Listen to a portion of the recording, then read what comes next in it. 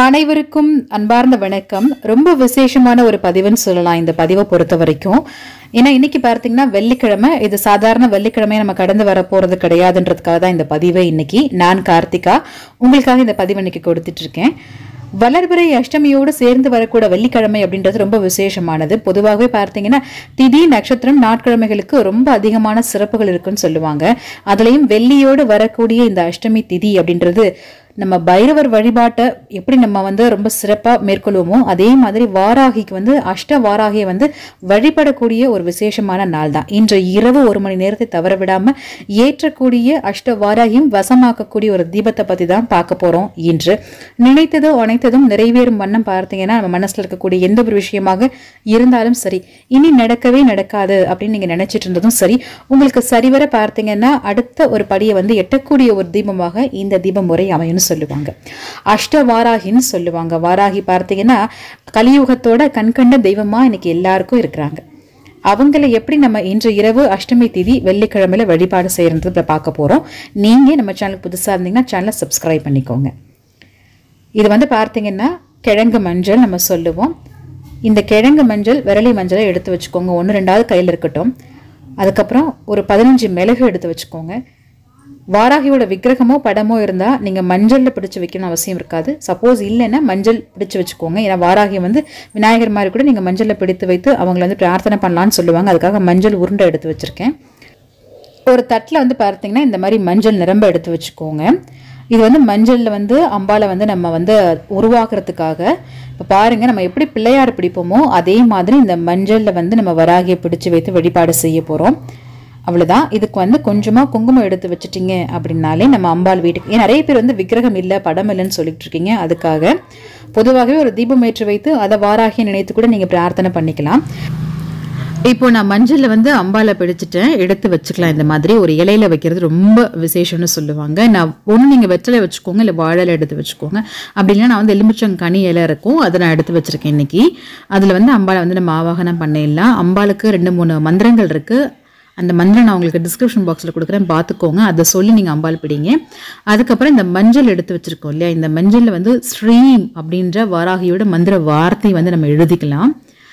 வாராகிக்கு மட்டும் கிடையாதுங்க. எல்லா விதமான பெண் தெய்வங்களுக்கும் பார்த்தீங்கன்னா இந்த ஸ்ரீம்ன்ற மந்திர வார்த்தை வந்து அவ்வளோ விசேஷமானது. அதுவும் மஞ்சளில் எழுதும்போது அது இன்னும் விசேஷமாக சிறப்பாக கருதக்கூடியதாக இருக்கிறதுனால தான் இந்த மாதிரி எடுத்து வச்சுக்கோங்க.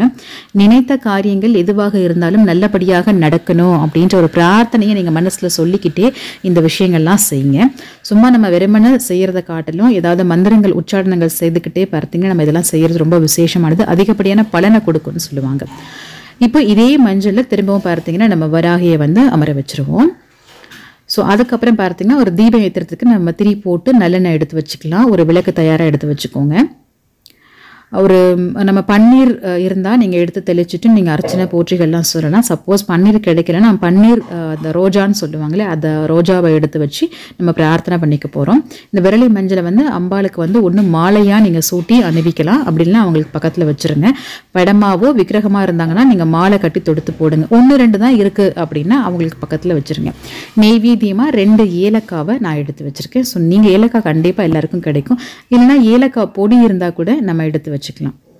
ஸோ இப்போதைக்கு தேவையானது இன்னைக்கு ஈவினிங்குள்ளே நம்ம செய்யக்கூடிய அந்த பூஜை முறைக்கு பார்த்தீங்கன்னா இவ்வளோ தான் ஏன்னா நிறைய பேர் வந்து பார்த்தீங்கன்னா வாராகியை வந்து வெள்ளிக்கிழமையில் வழிபட்டும் போது பார்த்தீங்கன்னா நல்ல விஷயங்கள் நடக்குது கார்த்திகா. நீங்கள் சொல்கிற ஒவ்வொன்றையும் நான் ஃபாலோ பண்ணிட்டு இருக்கேன். ரெகுலராக ஃபாலோ பண்ணிட்டு இருக்கேன் அப்படின்னு.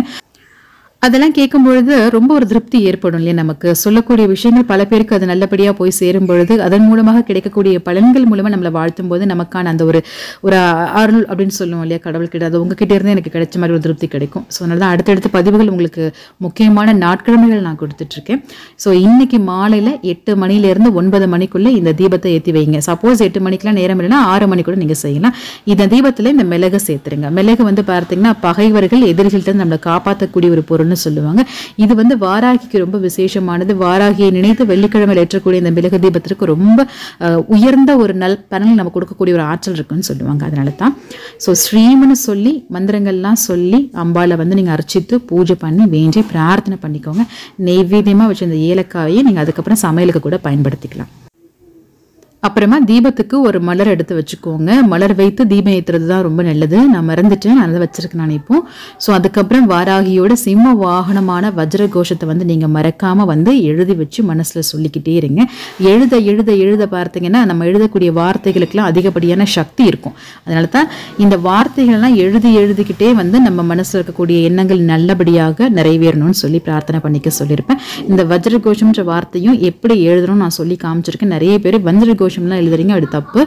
எழுத்து அந்த ஒரு வாக்கியத்திற்குன்னு ஒரு மதிப்பு இருக்கு. பார்த்துக்கோங்க. இந்த மாதிரி எழுதி அம்பாள் கிட்ட பிரார்த்தனை பண்ணிக்கோங்க. நன்றி. சந்திப்போம். மற்றும் ஒரு பதிவில் மிக விரைவில்.